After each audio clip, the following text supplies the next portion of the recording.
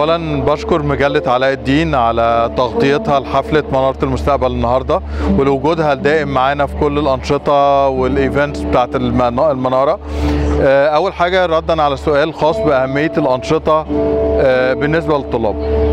العملية التعليمية هي مش بس كتاب و class و assignments العملية التعليمية هي مكون أساسي لشخصية الطالب. من ضمن المكونات ديت ال presentation skills ثقتهم في نفسهم قدرتهم عن التعبير عن تاريخهم والأحداث اللي بتمر حواليهم. في أي نشاط من الأنشطة ده بيديله جزء كبير جدا من الثقة بالنفس.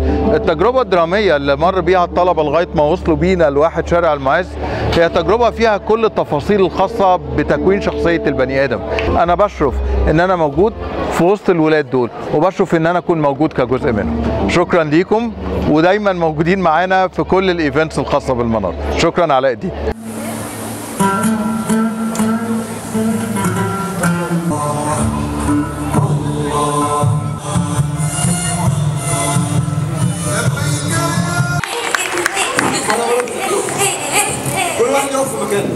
صحيح أنت عارف الرحلة بتاعتك الكلفان قد إيه؟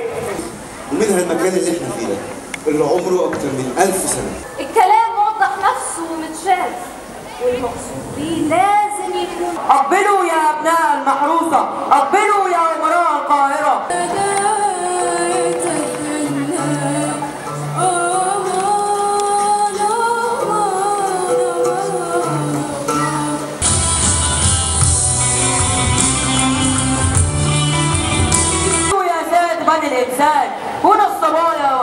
بص بص انت هو مش عايز اسمع كلمه واحدة مساء الخير ازي حضرتك؟ مساء النور أهلا بحضرتك. إحنا النهارده مجله علاء الدين بتتواجد مع مدرسة مناره المستقبل في الإيفنت اللي معمول النهارده تحت مسمى آه، شارع المعز.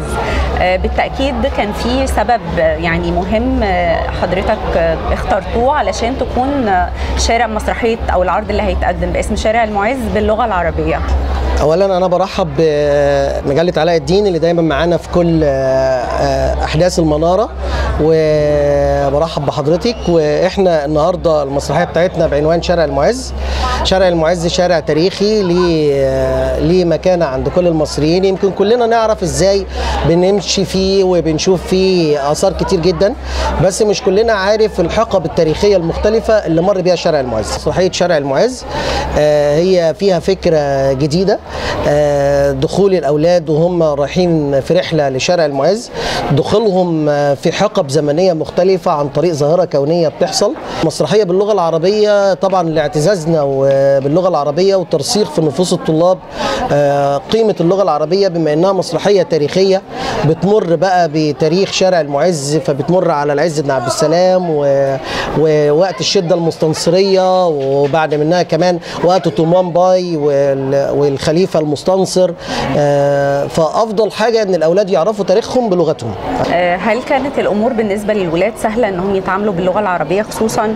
يعني مع طبعا التحديات الكبيرة اللي بتقابلهم آه، من خلال الموبايلات والحاجات دي اللي فيها لغة دارجة ومع الأسف كمان في لغة يعني إحنا بنبقى رافضينها. فهل كان في مشكلة ولا الولاد كانوا قادرين إنهم فعلا يقدموا ال- المسرحية بسهولة ويكونوا حابين دوت إنهم يقدموا ال- العمل بالشكل ده باللغة العربية الفصحى. الحمد لله هو إحنا إحنا آه، المسرحية نتاج آه، آه، النشاط اللي بيمارس في منارة المستقبل على مدار الأعوام السابقة. يعني إحنا مثلا في في, في العام الدراسي اللي إحنا فيه دوت آه، 20 آه، 22 آه، تم تقديم حفلتين للغة العربية في أثناء السنة الدراسية على درجة عالية وكان بيبقى فيها إلقاء شعر وبيبقى فيها مسرحيات وبيبقى فيها آه، سكتشات وغنى. فإحنا عندنا الأولاد آه، ما بيقابلهمش مشكلة في الجزئية دي. هل دي رغبة من المدرسة في عودة اللغة العربية تاني لحياتنا بعيدا عن اللغات اللي الولاد يمكن بيشوفوها في مسلسلات أو في كرتون أو في قنوات عربية ومع الأسف يعني بينطقوا بيها أو بيتكلموا بيها حتى في في تهريجهم وكده؟ أكيد طبعا المدرسة ومناره المستقبل من من منذ نشأتها وهي بتحرص تماما على اللغة العربية بتحرص على التربية الإسلامية وبتحرص على إن الأولاد يكونوا متميزين في لغتهم. في ظل العصر اللي إحنا فيه اللغة بتتعرض لهجمة شديدة جدا. بس في الوقت نفسه لما بنشوف الأولاد بشكل عام لما بيتفرجوا على كرتون الكرتون دوت باللغة العربية الفصحى بنلاقيهم بيفهموه كويس جدا بيتقنوه كويس جدا. المشكلة مش في اللغة المشكلة فينا. في جنة.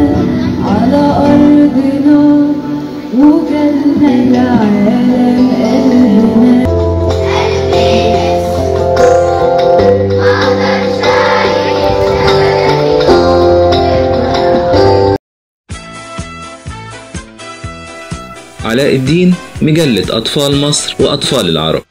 رئيس مجلس الإدارة عبد المحسن سلامة رئيس التحرير حسين الزناتي.